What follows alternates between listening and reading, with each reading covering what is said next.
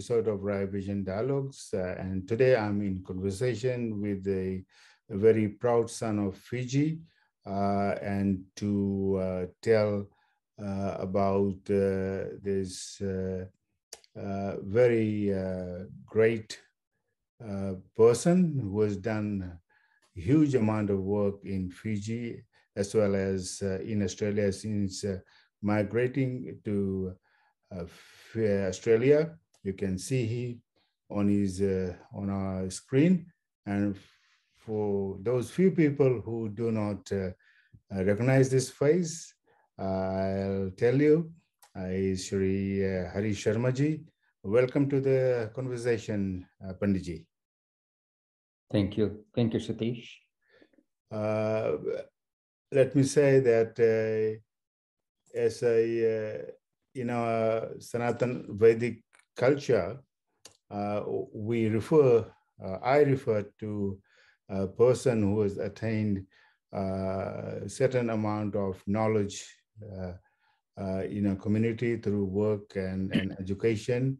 We call them Panditji, so I've only called uh, Sharmaji Panditji. Panditji, uh, please, uh, instead of me trying to introduce you, uh, I will invite you to introduce yourself to the audience today.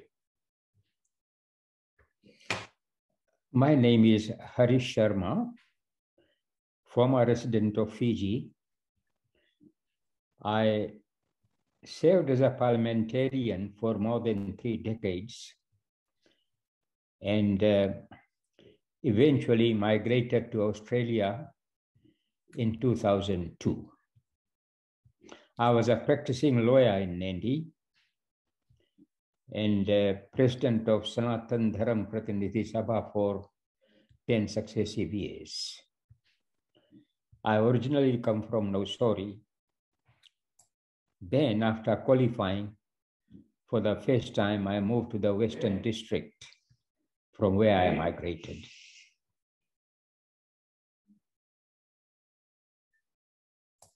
Thank you, Panditji. Uh, now, I think as uh, uh, myself, uh, I was not in Fiji during most of the time when you had uh, your professional and political career in Fiji.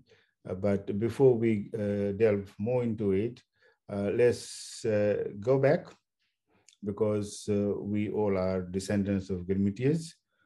So I will take you back to those days. you know, I, the Girmit days, what you recall of your Girmitia ancestors, and then after that, uh, we'll go uh, towards uh, your own parents who they were, where they lived. Very well, Satish. Our great grandfather, Tulsi Ram, and our great grandmother, Parvati, came to Fiji from the village of Chandpur in the district of Azamgarh in Uttar Pradesh, India. They were one of the first migrants from India to Fiji. On 23rd of January 1988, they registered at Benares, present-day Banarasi, as emigrants to Fiji, stating their caste as Chatri and Thakur respectively. From Benares, they came to Calcutta, where they were accommodated as indentured laborers at a depot for three weeks. Then they boarded the ship Hereford, which sailed for Fiji Islands on the 14th of January, February 1988. The ship reached Fiji on 28 April 1988. It is interesting to note that uh, just give me a minute, Satish. Okay, take your time, please. Uh, it is interesting to note that my grandfather was born on board the Hereford on 17th April 1988 in Fiji waters. He was registered as Kalika Prasad, but was generally known as Jamuna Prasad. Okay. After completing five years of indenture in the Rewa area, Tulsi Ram and his wife Parvati, my great grandparents, returned to India with their five year old son, Jamna Prasad, my grandfather. They settled in the village of Revati in the district of Basti in Uttar Pradesh. My grandfather's life makes an interesting story.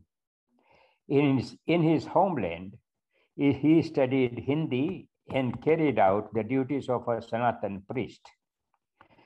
At the age of 19 or 20, quite late those days, grandfather Jamna Prasad enrolled at the Kashi Vishwavidyalaya to study Sanskrit and astrology.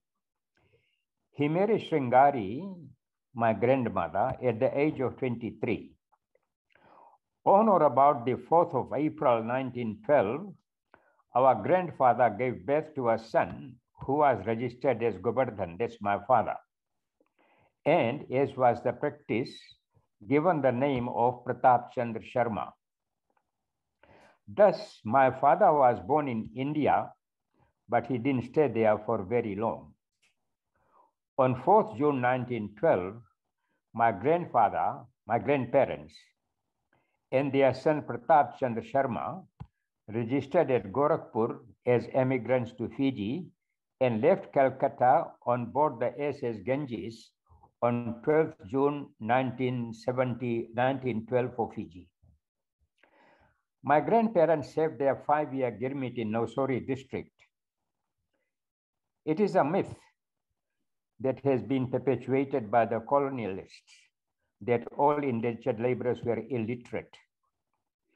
My grandfather, Jamna Prasad, certainly wasn't illiterate. He was a competent scholar of Sanskrit, Hindi, and astrology, and was in obvious demand to, teach, to teach Hindi and explain the great epics of the Ramayana and the Mahabharata and perform religious rituals as a Pandit.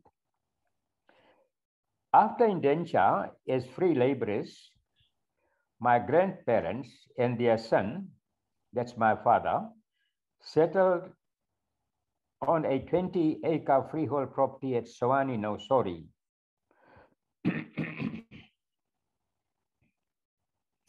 Part of the property is still retained by our family. My grandfather was something of a public intellectual during indenture and the later years, the Hindu religion was sometimes viciously condemned by Christian missionaries.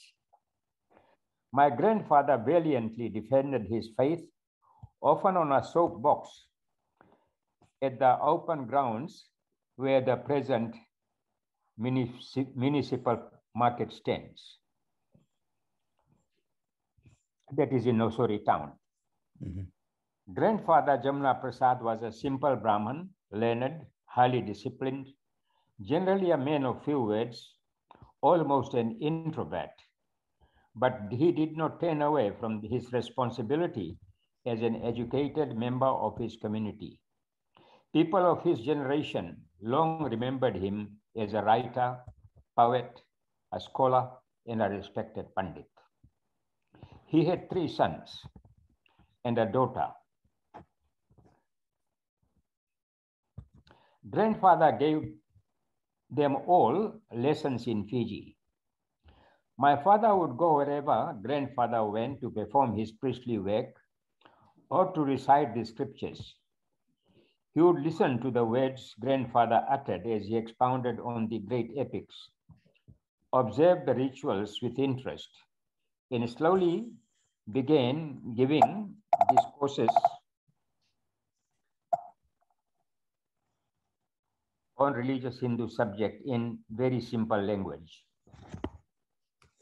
With grandfather's encouragement, the world of poets and poetry opened up for him. The young mind absorbed all, all it could about the way poetry was composed and recited. There was a long journey ahead of him as a writer, that is my father. My father became an avid reader. He read whatever came to hand books, magazines, newspapers. He cultivated an independent mind, and the farm in Sawani became his domain. All my siblings were born and brought up in that domain. I was taken away by my maternal grandparents, uncles and aunts in Naitasiri, near Baulevu Landing. Thus, I missed having close knowledge of my father's attraction for poetry and Hindi literature. I returned to Sawani once in a while as a visitor. My father was physically very strong. He would travel on his bicycle from the farm in Sawani to Baulevu landing in Itasiri to visit me and other members of the family.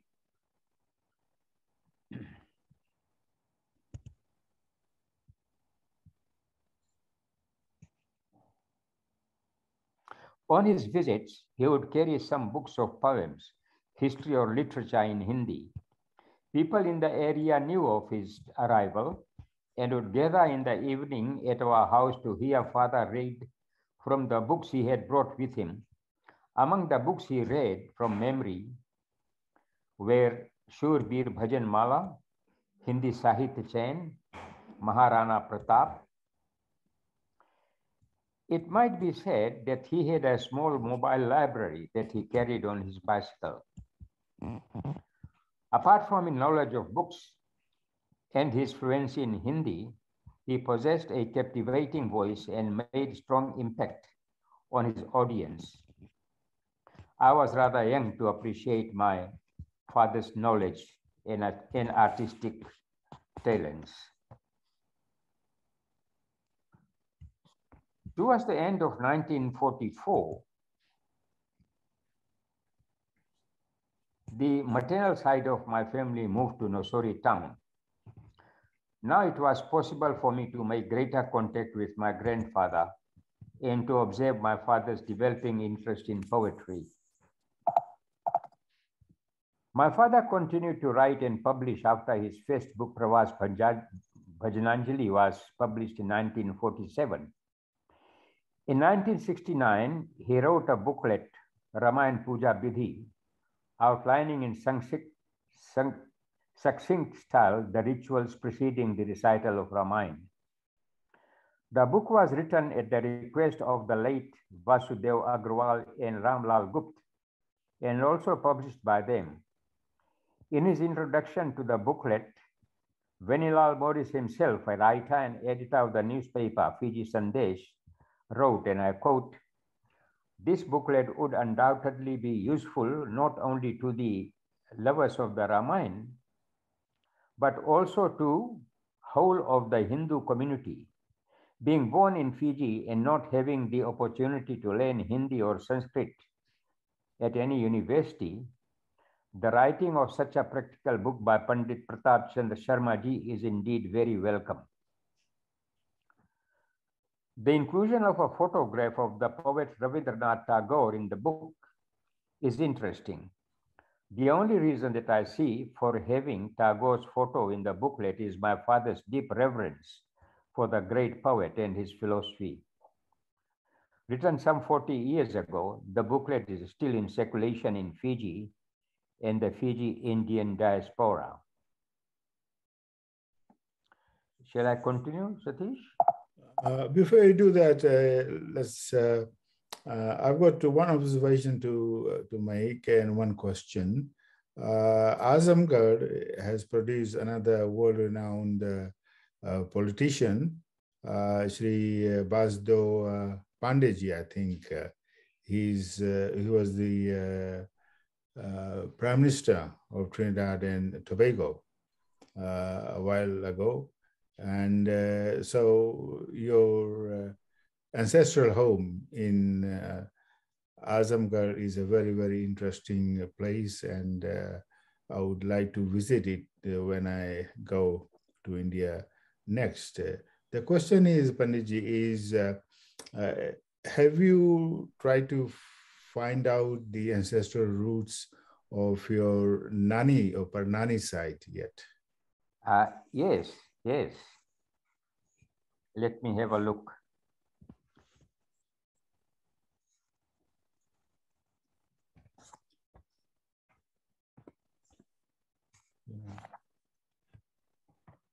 Uh, give me a few minutes, Satish.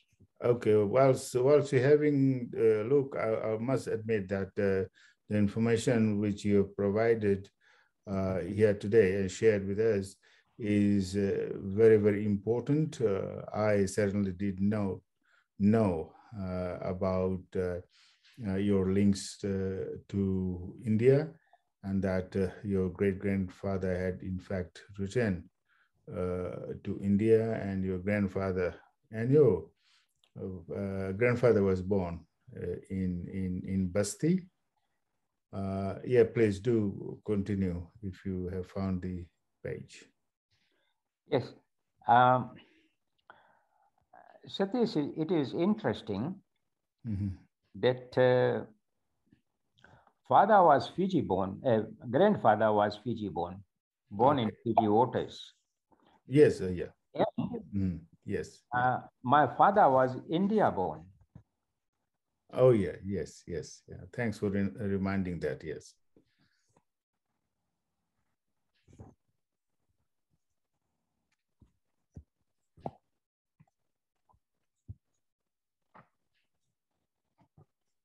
Satish, from memory, my maternal grandparents mm -hmm.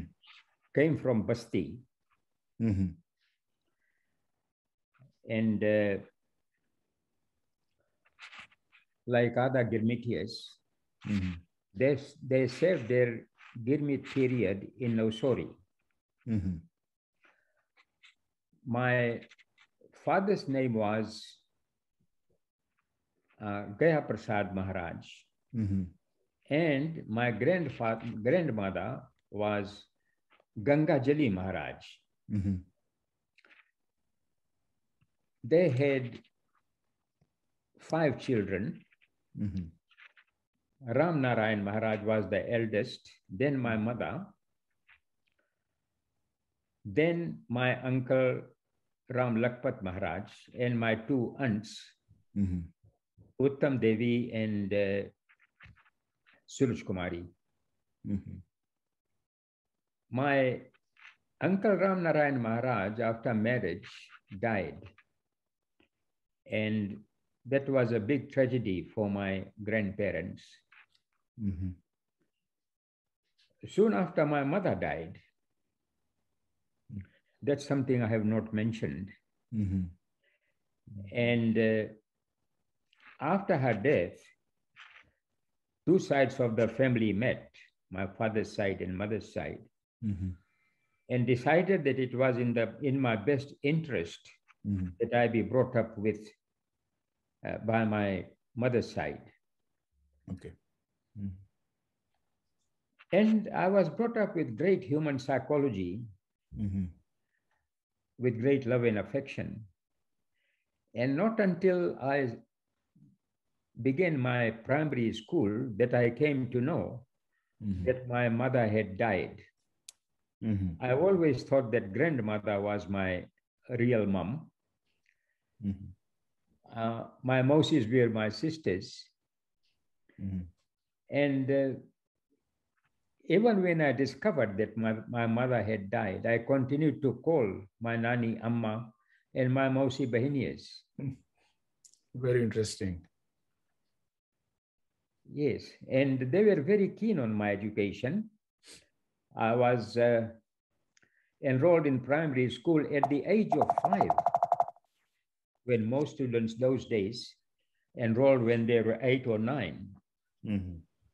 So, um, you know, uh, I was well ahead in the field of education. Yeah, I was and, going to come to that, uh, Panditji, because uh, now yeah, having sure. uh, having uh, covered uh, your Girmitia background uh, to to a certain extent, I wanted to know where you were educated, your primary school, high school, and uh, then how you became a lawyer and so on. So please go ahead. Go ahead. Uh, shall I start with my early education? Um, yes, let's go. I think uh, in chronological order, so uh, we have an understandings where we started. All right.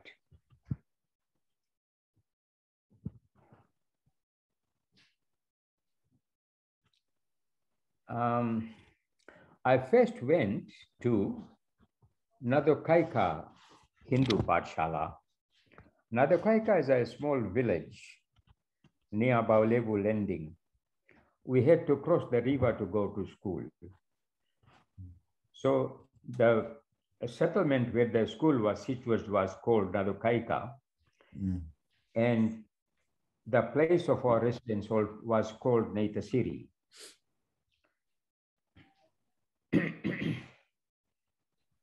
And I, as I said, uh, Satish, my uncle and other members of the family were very keen on, on my education.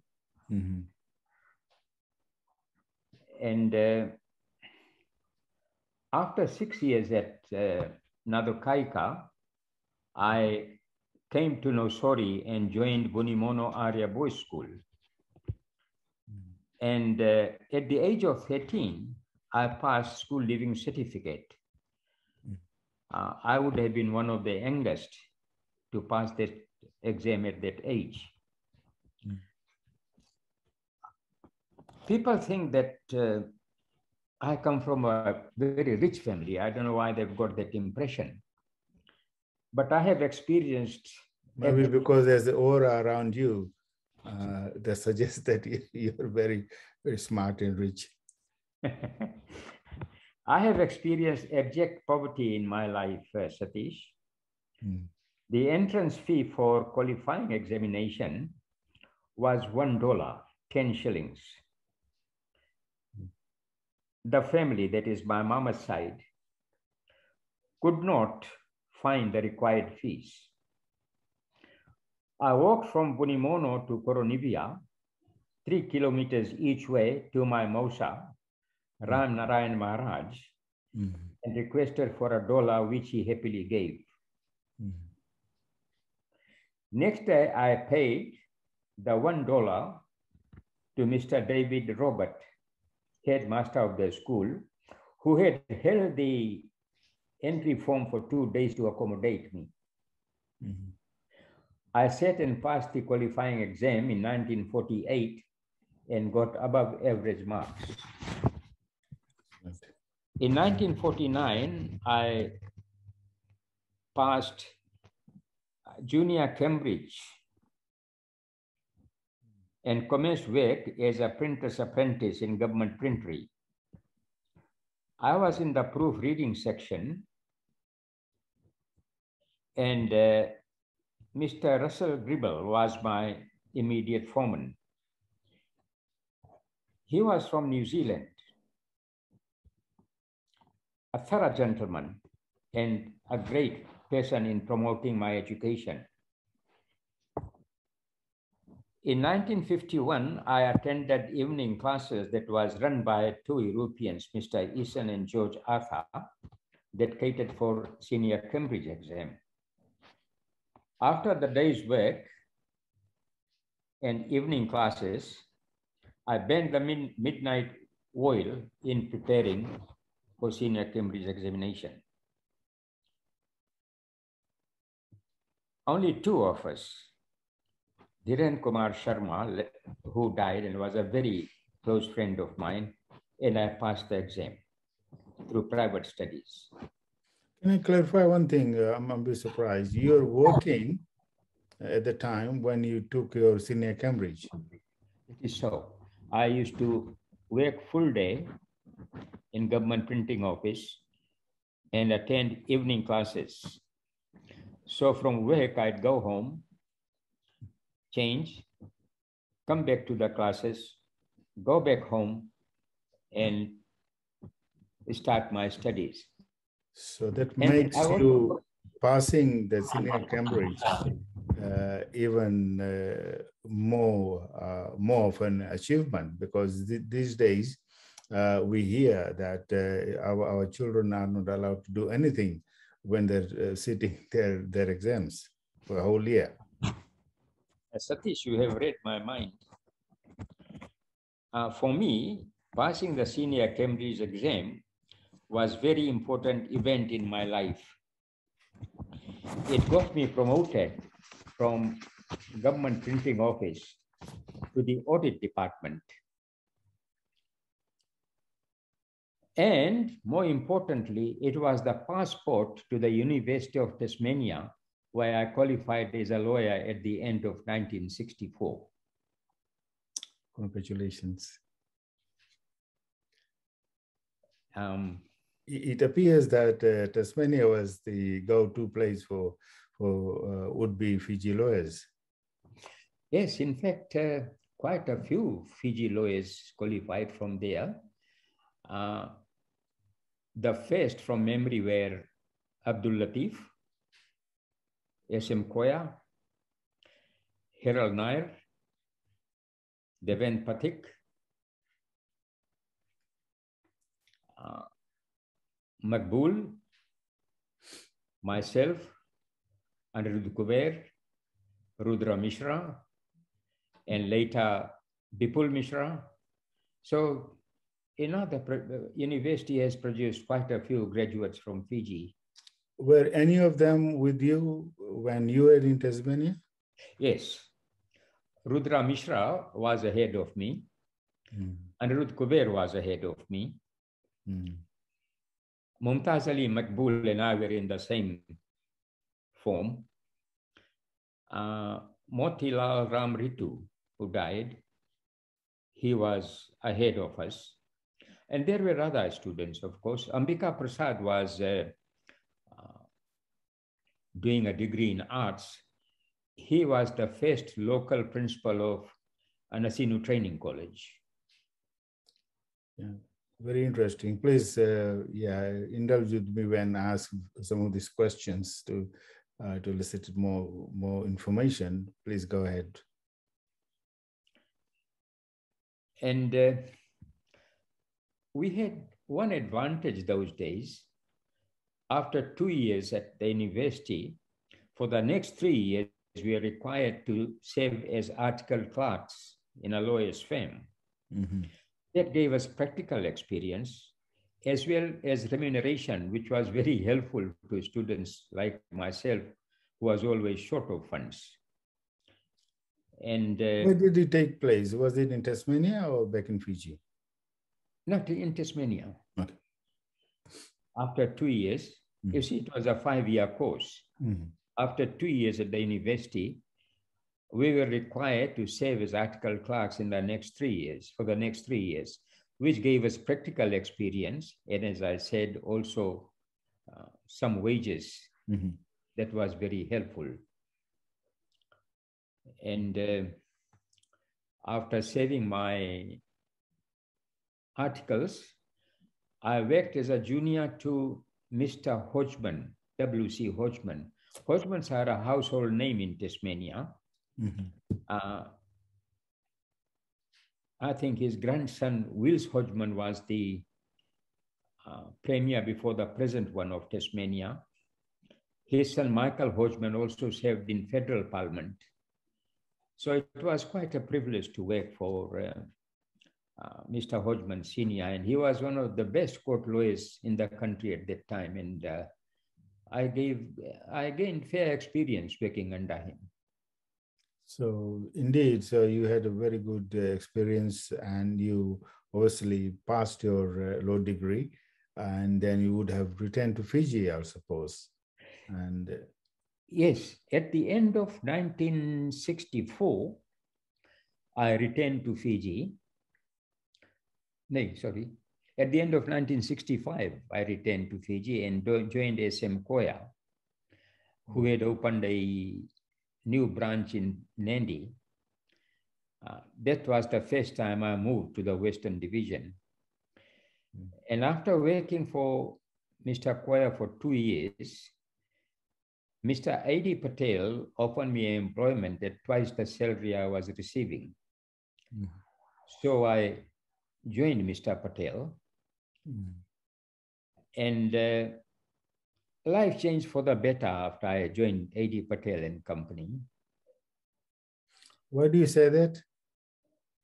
Well, first, Apart from the more money.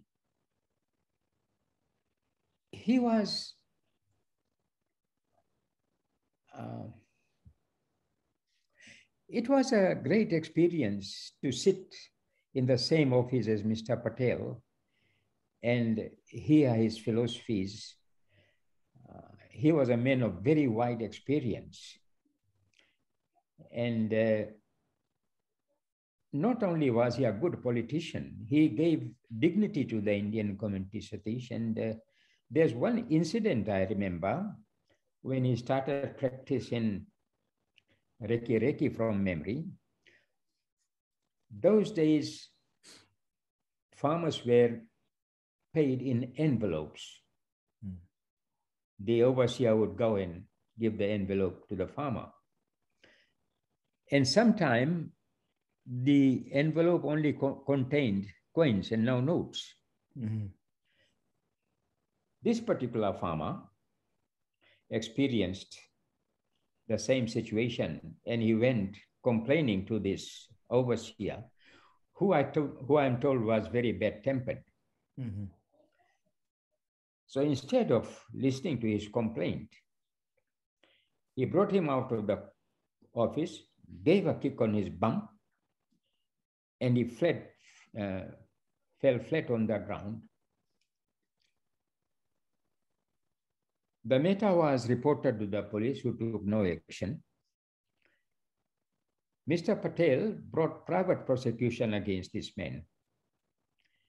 And when, when he received the summons, he barged into Mr. Patel's office without any appointment and waving the writ of summons, he said, What is this?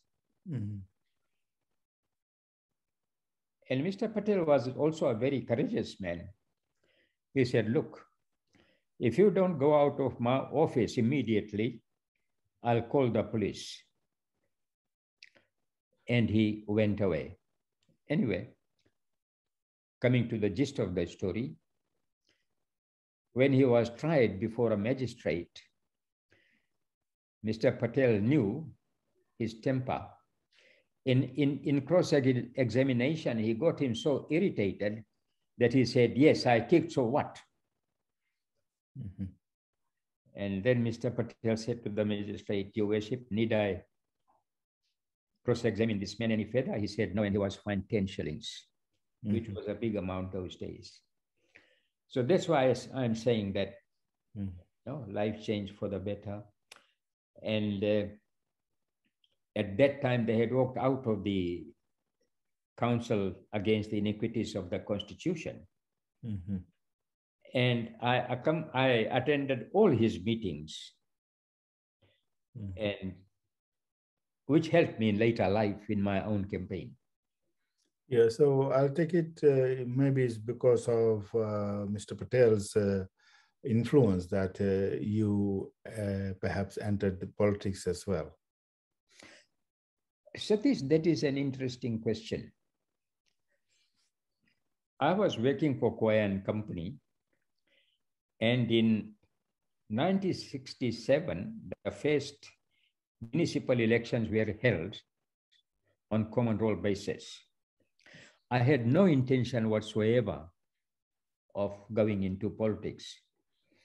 But Mr. Patel, Mr. Koya, and Mr. R.K. Sharma, who was like a father to me, he was editor of uh, Jagriti at that time. I used to board and lodge with him. These three worked together and virtually pushed me into municipal elections. And that was my first entry. 1967, I contested as a councillor for Nadi Town Council. Those days, elections were held every two years. From, so from 67 to 70, I was a councillor. But before my term in council expired, I was appointed to the Senate, which was quite a surprise to me. And from Uh, there on, there was no looking back. Yeah, before I ask you how you got appoint, uh, appointed uh, there in the Senate, uh, I would like to share a similar, similar story. uh, that uh, I was also, in a way, you know, selected by people to become a counselor uh, in London uh, Uh, in 1990. Uh, I had no intention to be a politician, but uh, uh, I gave it up in 1994, unlike you, which you continue to be a long-term politician, ending up being, uh, I think, deputy prime minister at one stage. So please tell me that the, the beginning of their journey. When I became the deputy prime minister? Uh, the, the, the beginning when you, from councillor, uh, you were nominated uh, to the Senate. Yes. And before my Senate term expired, I was endorsed on NAP uh, party ticket to fight the general elections.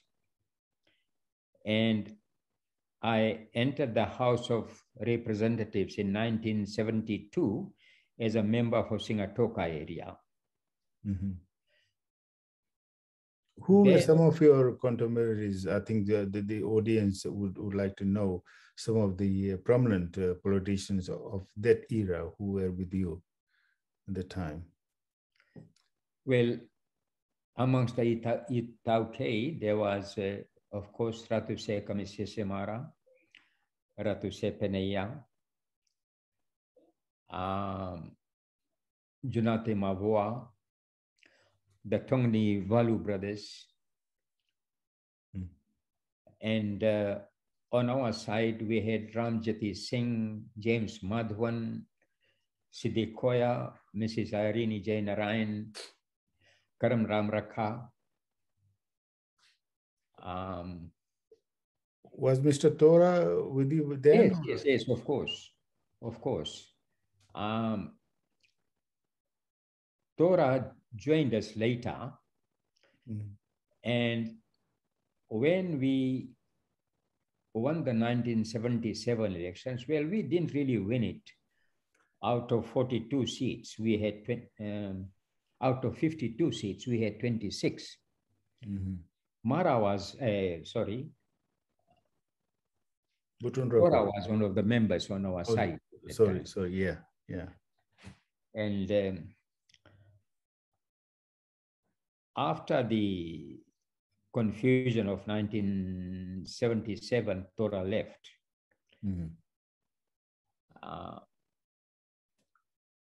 yeah, in 1977, I recall the first election was uh, there was a contributing uh, factor of uh, Butadroka's party.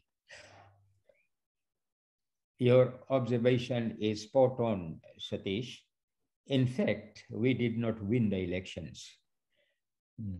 Butadroka gave us the victory by dividing the Fijian votes, mm-hmm. which ended up uh, in the alliance of in the defeat of alliance. Mm. But our own party was so divided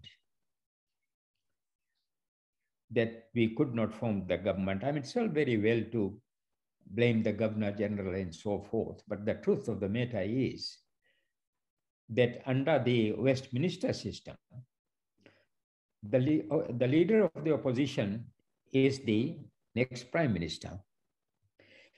And having won the elections, Sid Koya automatically should have been the prime minister. Mm-hmm. But there was a deep division within the party. And Karam Ramrakha said, no, we must choose a leader. And lo and behold, there were two names given, Sid Koyas and Maitongas. Maitonga was from Labasa. And on the first count, you wouldn't believe, each one received equal votes mm-hmm. 13 13. Mm-hmm. Then someone suggested that the name should be drawn from a hat, and Mr. Koya said, no, let's have another uh, election. Mm-hmm. And in that, someone jumped from Maitonga side to Koya side, and he won by two votes. Mm. So there was a lot of dilly-dallying. And uh, as later events proved, uh, even at this stage, the party was badly divided. Mm-hmm.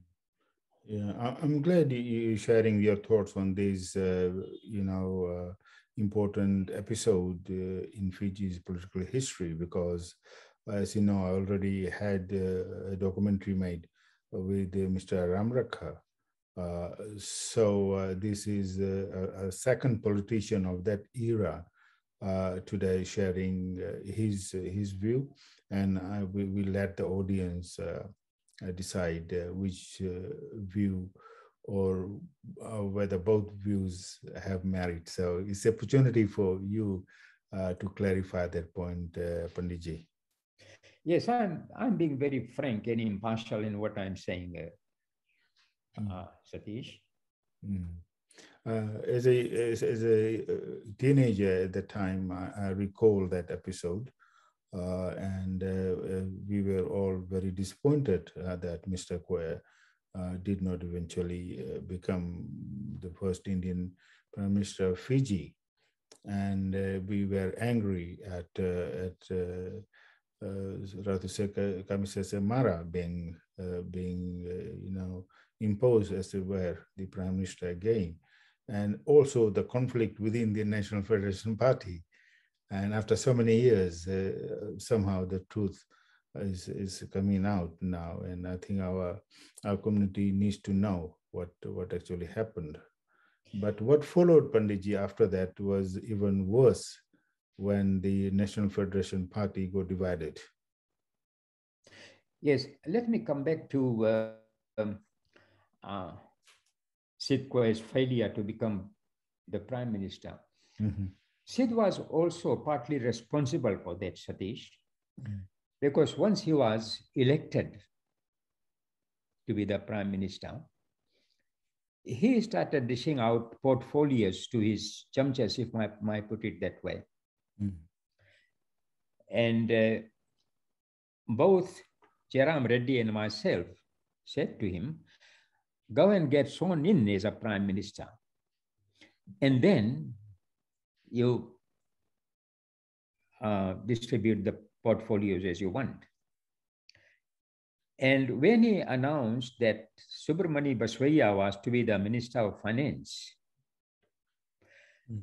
Crampton Boyd, who was who had joined the party for the first time, thundered. He said, This portfolio has always gone to general electors. He expected to be the Minister of Finance. And members of the news media were not far from where these negotiations were going on. And I wouldn't be surprised if someone came to know that there was dispute within the party. And uh, I'm purely guessing, instead of blaming Mrs. J and uh, Karam for ringing the Governor General, who knows, one of the reporters may have passed this information. Um, and that's a, that's a possibility. Yeah. Sorry, uh, coming to 1977 second election, the party was divided across the center. Dove and flower factions. Mm -hmm. And uh, the meetings we had you may recall that famous meeting in Suva where there was a tug of war for the microphone between Sid Koya and Karam Ramrakha. I don't recall that, Panditji, because I was still very, very young. I was I was in Suva then, but I don't recall that. Please do share that. In, yes, but that happened. And the meeting was called by the flower faction. I traveled from Nadi to Suva to attend the meeting, and I was one of the speakers.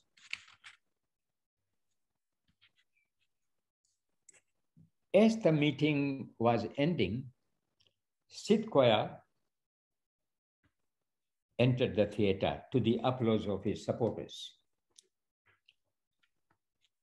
And uh, came and grabbed the, tele, uh, the microphone.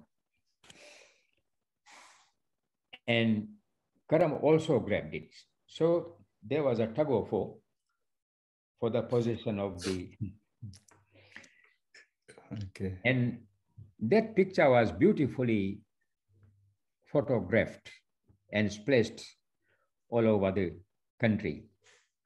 It's a very historical picture. Not a great picture for the community. yes.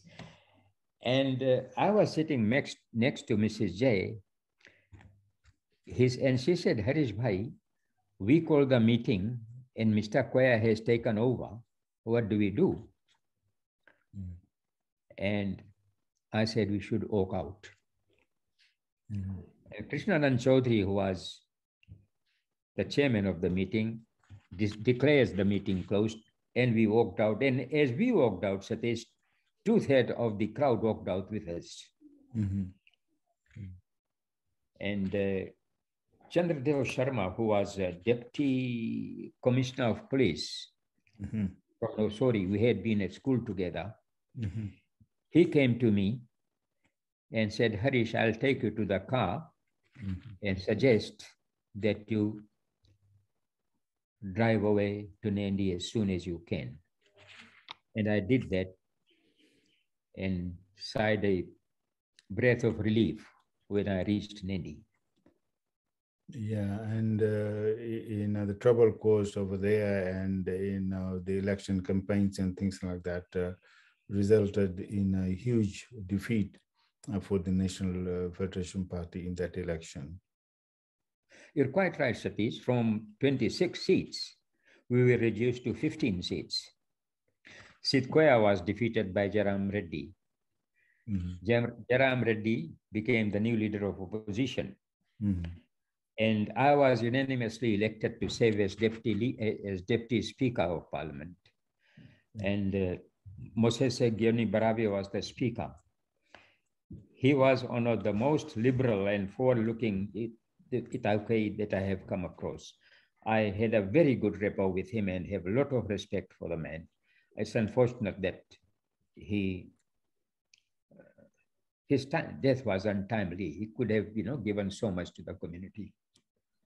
Mm. Unfortunately, indeed, uh, going on, I think uh, National Federation Party, after that for a long time, uh, did not recover, and that gave rise to uh, uh, the Fiji Labour Party. That is so. And more than alliance, they were our greater opponents. And eventually finished uh, NFP because in 1988 elections, we didn't win a single seat. I had retired by then. Okay, so uh, you escaped that embarrassment. Yes. Yeah.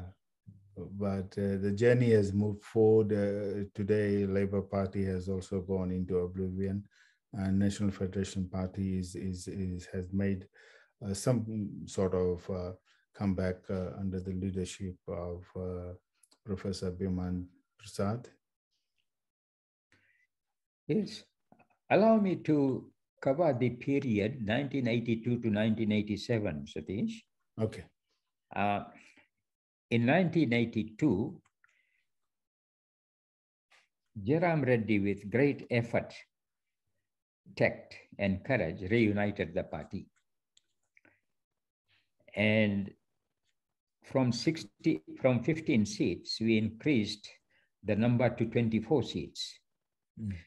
Sid Koya was amongst the people who won. Mm-hmm. Then in 19, from memory, in 1984, Jairam had serious disagreements with the speaker, Vakatora, mm-hmm. and walked out of parliament and finally resigned. He was succeeded by Sid Koya. After two years, in May 1987, I succeeded Sid Koya as leader of the opposition. This news to me, for, most most other people. So uh, yeah, yeah. Please do tell us. And uh, although Sidud called me once or twice a week and say, Harish, everyone wants leadership. Here I'm giving it to you, and you're not taking it. And when he was presented with uh, signature of most of the party members that they wanted me to be the leader of opposition, mm-hmm. he again called and harangued me and he said, You of all the people have stabbed me in the back. And I said, Mr. Koya, you've been asking me to take the leadership. Here's, an, here's a very good opportunity for you to give it to me. and for public consumption, we got together mm-hmm. and he blessed me and said, I'm voluntarily leaving. Then thereafter, I made every effort to form coalition with Fiji Labour Party. Initially, I got rebuffed. Mm. But after some time, I convinced them that the only way to defeat the Alliance Party was to form coalition, which we did. And then in 1987, as history shows, we defeated the Alliance Party. Mm. And uh, I was appointed, I was given three portfolios Deputy Prime Minister, mm. Minister for Housing and Urban Development, and Minister for Information. Then, after a month, we were deposed by Rabuka's first military coup. Uh, I think a lot of people are wondering uh, what uh, Fiji would have been had uh, that uh, government uh, survived for the, the full term. would you like to share your thoughts of that government and where it would have taken Fiji? Satish, I have no doubts whatsoever that Fiji would have been something like Hawaii, just giving an example it would have advanced by leaps and bounds and succeeded in all aspects of life, particularly economically. Mm. There was a lawyer called Miles Johnson. His father was in parliament, came from a very well known European family. I had known him before I went to do law. By appointment, he came to my office with a plane. Mm-hmm. This is in 1987. And he showed me the plane and he said there was a company that was going to sink $140 million in the Denarau area. That was in 1987. Mm-hmm. And uh, many people of Indo-Fijian uh, descent were thinking of going back to Fiji. Mm-hmm. Uh, no, I, I think um, with respect, Sitiveni Rabuka and everyone that was behind him have done untold harm to Fiji and its future. Fiji will never be the same as it was before 1987. In 1987, the Fijian dollar hmm. was stronger than the Australian dollar. So you can. I know. I uh, sitting in a library in Greenwich, in London, I was uh, comparing the GDP of all the countries uh, in around 80s, and there was the first world country and the communist country and the third world country, and before the uh, communist, uh, uh, below the communist country, there's only one entry, and that was Fiji's. And they could not put it in communist country or the first world country because, uh, so they had a separate uh, column where Fiji's GDP was almost as good as uh, the first world country. and and today, I don't think probably is somewhere in the third world country. Yes, we're uh, speaking the same language, uh, Satish, as, as far as Fiji is concerned. Yes, and uh, before going to, to, to, to London in 1980, we know Fiji was uh, called uh, uh, the way the world should be. And yes, it was the it was the Pope who said, I think. Yes. Yes. Yeah. So 1987 happened uh, and uh, that's when I think a lot of uh, descendants of Girmitias and other Indo-Fijians uh, started to flee Fiji. Uh, so do you recall that uh, that era and then how and when you decided to leave Fiji? Satish, before I come to that, there's one important aspect of my life I have missed. Please do tell us. Uh, after my return to Fiji, I was under tremendous pressure to get married. Mm-hmm. And in February 1968, was married to Ambika Devi Singh, mm-hmm. a Nepalese family from Brown Street, Suva. Mm-hmm. My arranged marriage was a life changer. Ambika was extremely beautiful, good character, caring, and kind wife. She has been an exceptionally good mother to all our three children, Aman, Sunena, and Abichal, and a proud grandmother to six grandchildren, Pranay and Alka, Aman and Susie's children, Vineet and Sapna, James and Sunaina's children, the daughter at who, who, whose house we I'm sitting, yeah. Anusha and Rohan, Avichal and Priya's children. But Nepalese, as you know, are well known for their courage all over the world. Yes. And when I was taken a political prisoner, Ambika showed her courage. Mm-hmm. She looked after the three children, did not panic, and with my daughter came to visit me when I was a political prisoner. Mm-hmm. There, I think she couldn't hold herself, became very emotional, and both of them started crying. And the soldier who was guarding me said, Hari, Mr. Sharma, you've only got two minutes. I said, but others have got five minutes. He said, yes, but my instructions are that your interview will finish in two minutes. Mm.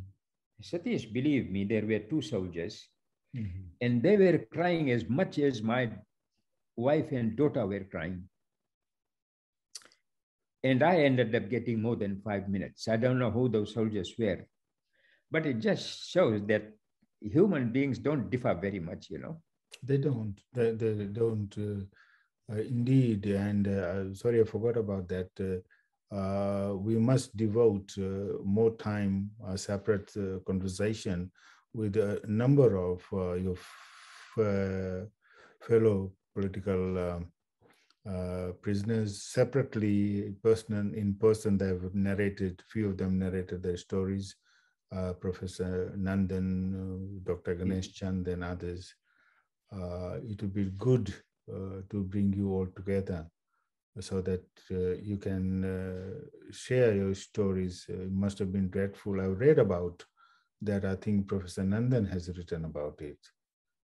Uh, so it must have been a horrible time because uh, uh, that coup was totally unexpected and uh, we did not uh, believe that it could happen in a place like Fiji.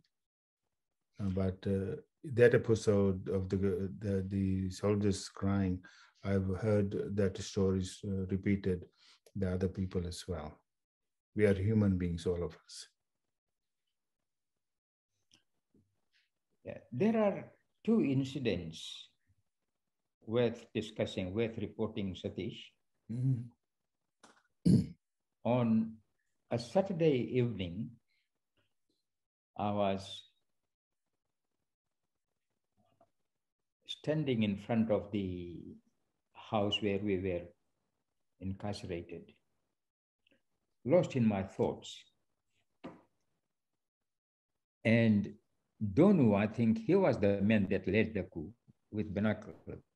Binoculars came and said, Mr. Sharma, would you go and call Mr. Krishna Dutt?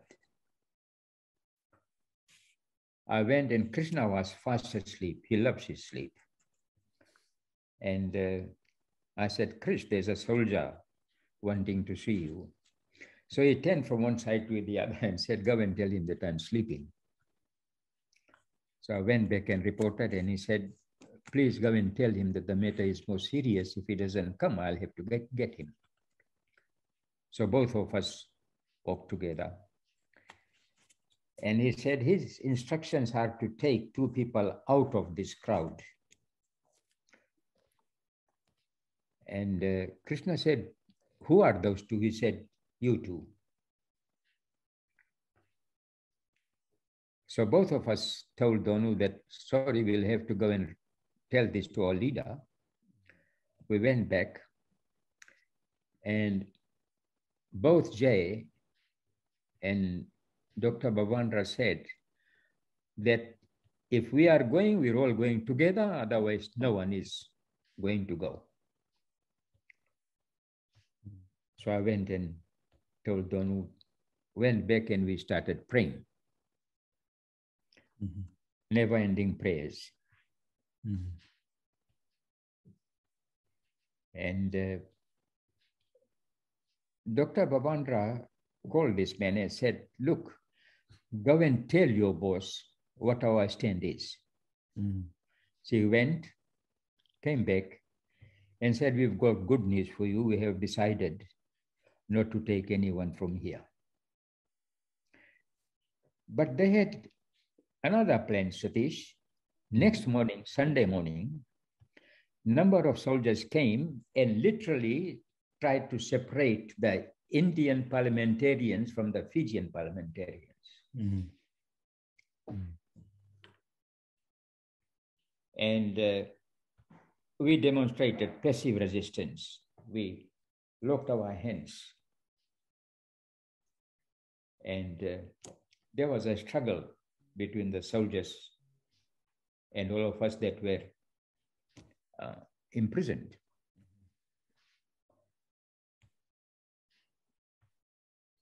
Um, Dr. Bavadra's wife, I can't remember her name. She's Kuini? Kuini? Adi Kuini, right. Thank you. She said on Sunday, she started crying and said on Sunday morning, you should be attending church instead of doing what you're doing. And she released my hands. I was sandwiched between Adi Kuini and um, uh, Temo Sukanaivalu. Temu also released my hand. So I was the first one to be carried away, perhaps the lightest of the gang. Mm-hmm. And I was dumped in a waiting vehicle. Then all others, you know, finally were dumped in the same vehicle and we were, we were driven to Borron House. Mm-hmm. Now, that was a glaring example of physically separating the people of two communities. Mm. And uh, later I asked Temo, I said, Sorry, did they manage to do that, uh, Panditji? Because did they take Indians to Borron House only or or both uh, Fijians and Indians? No, only Indians were taken there. That's what I'm saying. They were okay. separated. Okay. And my Fijian, you know, friends were left where they were, mm-hmm. and the Indians were carted like animals mm-hmm. To Borron House. And uh, sometime later, I asked Temo, I said, Temo, I can understand why Adi Kuini released my hands. Mm-hmm. Why did you do that? And he said, Harish, let me see your hands. I did that. Mm-hmm. And then he stretched his hands, which were twice my size. He says, on the spur of the on the spur of the moment, I thought your hands might get dislocated. So I released you. So there was a great uh, comradeship a friendship between all the uh, all the people, all the MPs who were uh, incarcerated.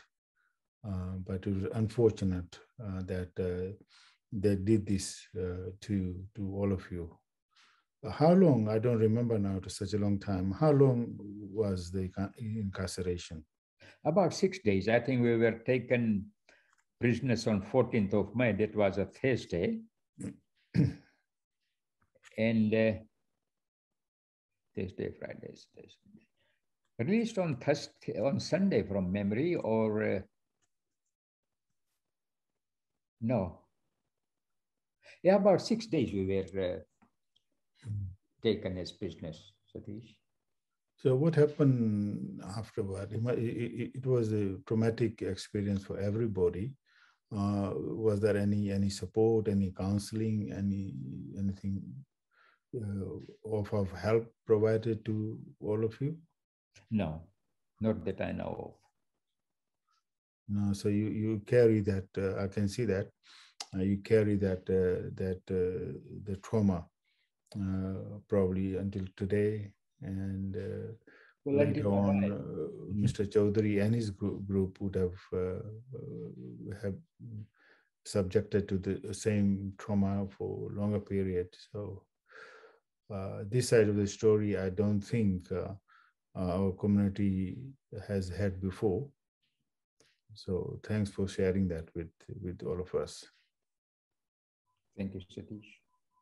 And I must say that uh, I, only a few weeks ago, I met your beautiful wife uh, after that uh, lunch with the Professor Nandan.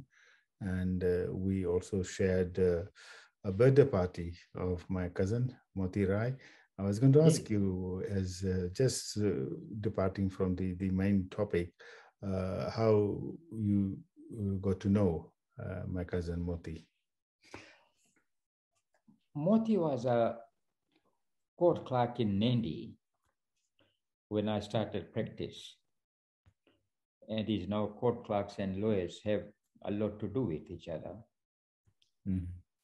So the friendship started there. Then he was transferred to Lautoka.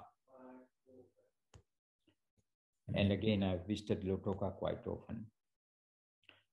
Then finally, the only unqualified person to hold the position of the registrar of court was Moti in Suva. Mm. And whenever I went to Parliament, I visited him. So this association gradually developed into a very strong friendship. But uh, Satish, when I met his wife Maya for the first time, she straightway said, You are my brother. and has never shifted her position. So we have a strange relationship. Moti is my brother and Maya is my sister. and uh, Satish, the relationship is so deep that they ring me once or twice a week.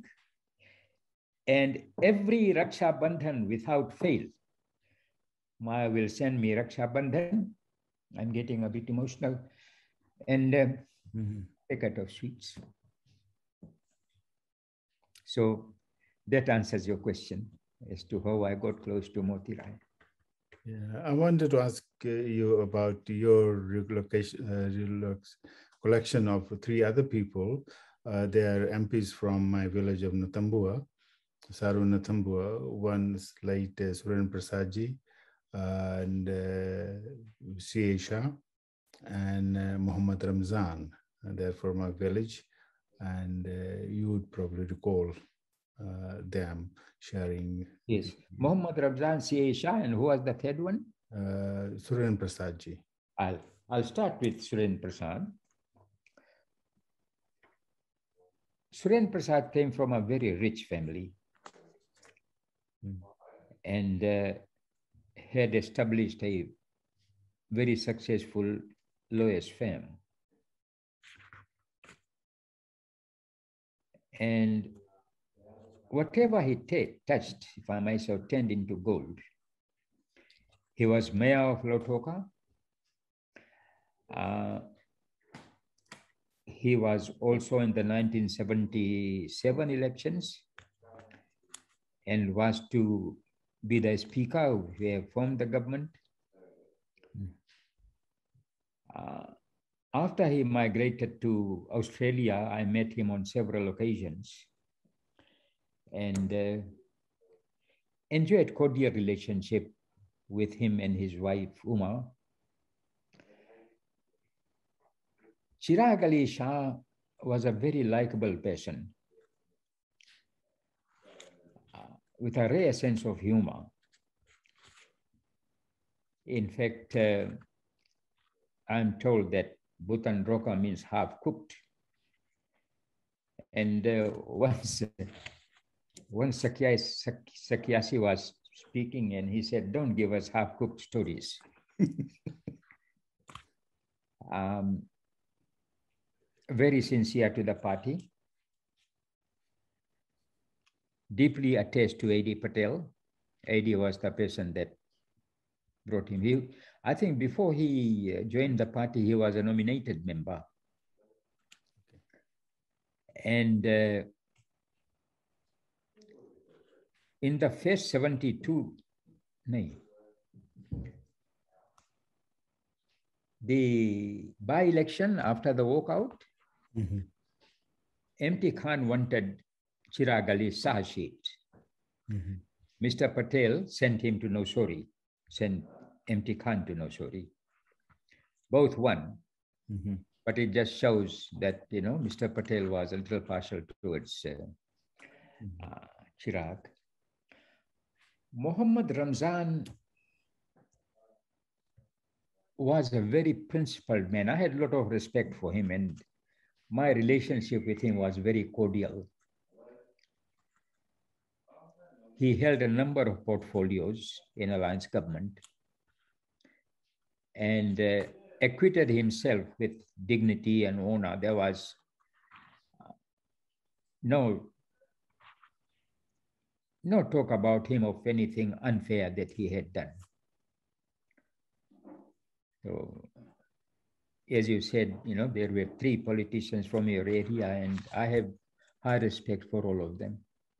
Yeah, considers that uh, Mr. Prasad's ancestral village is in uh, Gorakhpur uh, area, and I, did uh, visit the village uh, when uh, I was making my first documentary, Milap, and his ancestors are are uh, featured in that uh, documentary film.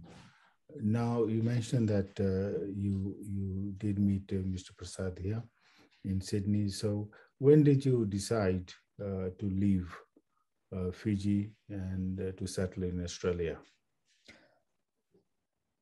Satish, I had no intention of leaving Fiji. In fact, I wanted to spend my last days in that country. But there was one incident that made me change my mind. That was in, from memory, November 2002. A robber entered our house And our next door neighbor was a policewoman, and her husband was a civil servant. And this was at six in the morning. And he, of course, we were sleeping quite freely, you know, not expecting anything like what happened. He entered our bedroom, and my wife yelled. So both got up and he said, Give me money, give me money. And I said, We have no money. And in fact, we had no money. So he fought. My wife snatched his vernacular so he could see his face. This policewoman that I'm talking about, we were living in one flat, and this person was living in the adjoining flat. And they were both outside when this incident happened. So I said to this Ital, Ital, Ital came and I said, There's a beggar in our house. He said, Yes, I know, but he's got uh, weapons. And I have none. He had no weapons.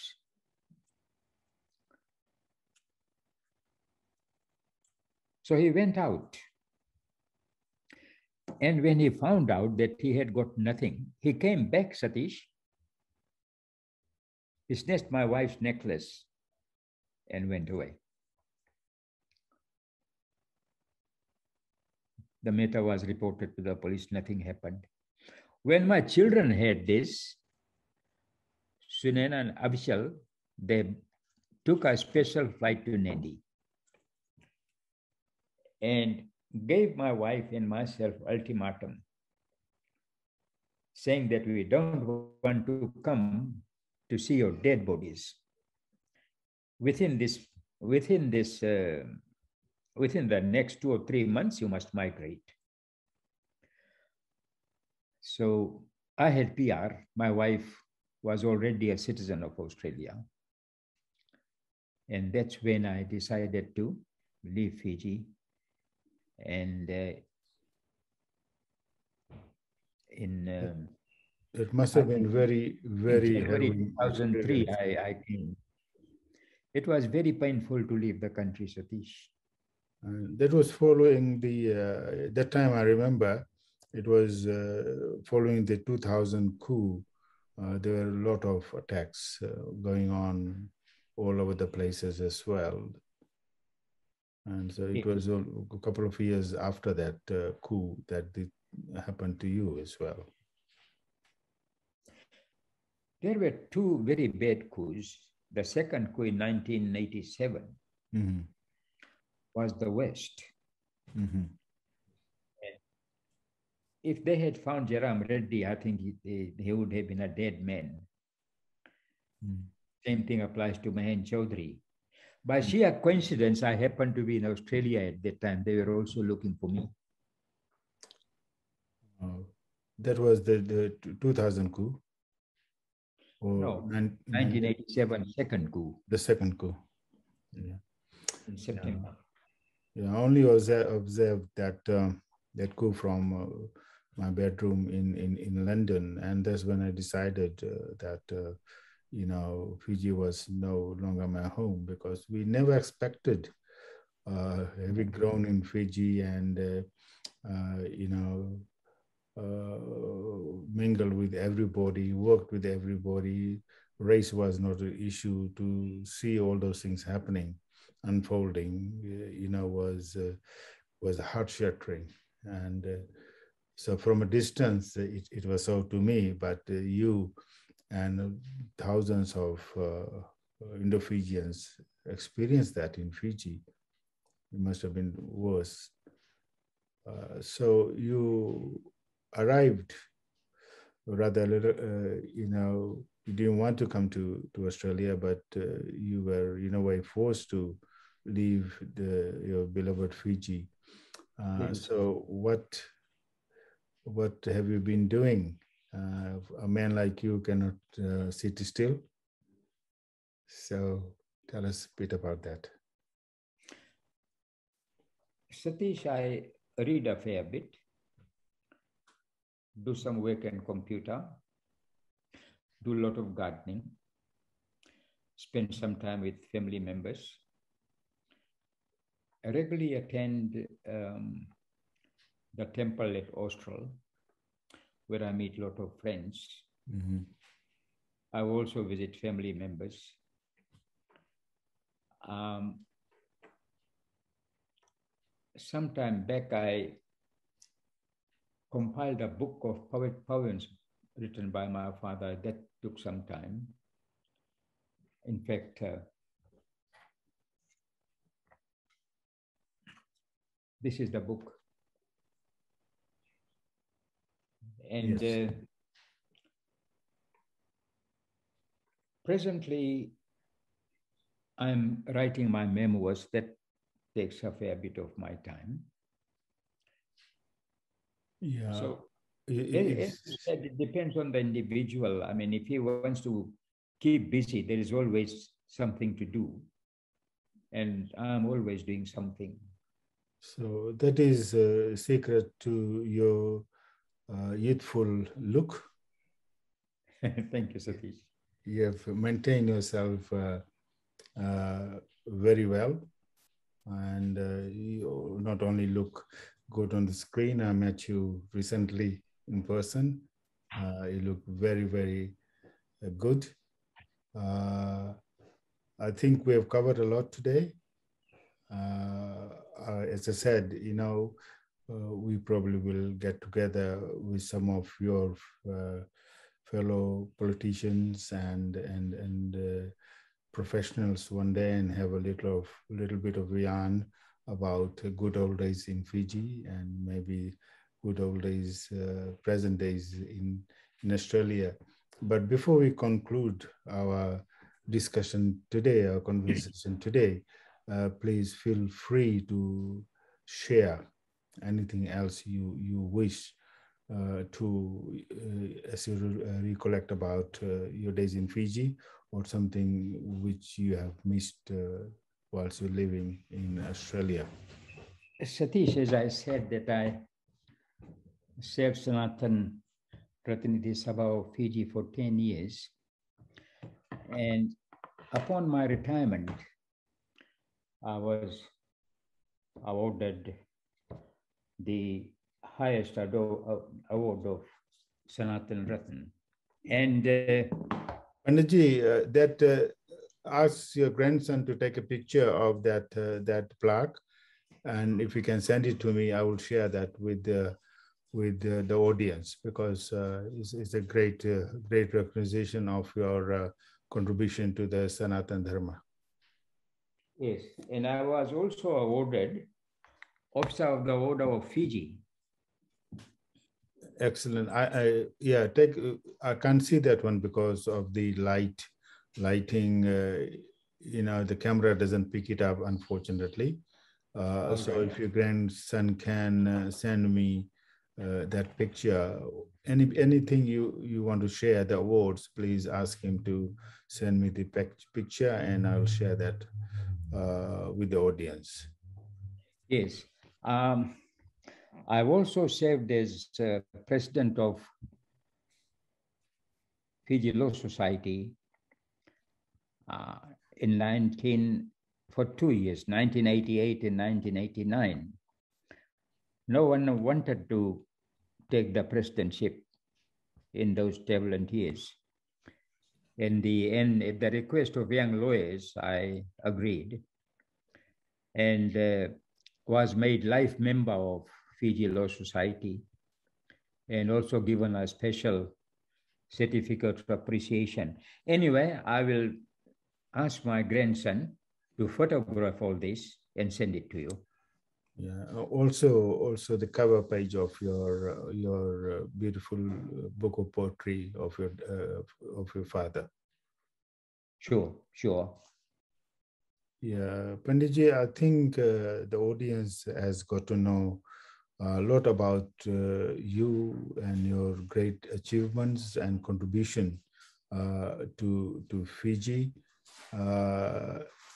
we will, I think, uh, it's very easy to talk to you uh, and uh, time permits uh, and opportunity arises, we'll talk again more about uh, what you've done. I hope you uh, successfully write your memoirs. And once you've done that, we'll talk more about that as well, because writing the memoir, you will be able to recollect much more of your life's uh, journey. And uh, I'm sure you'd like to uh, share that on video with people across the world. so your last words before we conclude. Well, Satish, I'm reaching towards the end of my earthly journey. I'll be 90 next year and looking forward to a, a grand uh, grand uh, get together on that occasion panditji. Thank you. And uh, I pray to God that give me the courage and the strength to serve the community in whatever way I can while the going is good. I have enjoyed more than 50 years of matrimonial bliss and uh, hope it will last for a few more years. I'm in a very happy position. All my children, my daughter in laws, my grandchildren are very caring. And I don't think I could wish for much more. God has given me good health, good friends like you, Satish. And uh, I'm most grateful for the interview and consider it my pleasure to know you. And I hope we will keep in touch. So Panditji, uh, uh, Sanatan Vedic Dharma says uh, we believe in karma. Uh, you have contributed greatly to our, our uh, community in Fiji over here. And so karma has been kind to you. Uh, you're looking great. You've got a beautiful family. And thank you for giving your time and sharing your, your story with all of us uh, it will be and it is going to be uh, an inspiration uh, to our community, not only in Fiji, but in the Fijian diaspora, uh, as well as in the, in the Indian diaspora. So thank you again, Panditji, and uh, goodbye. Namaskar. Thank you, sir.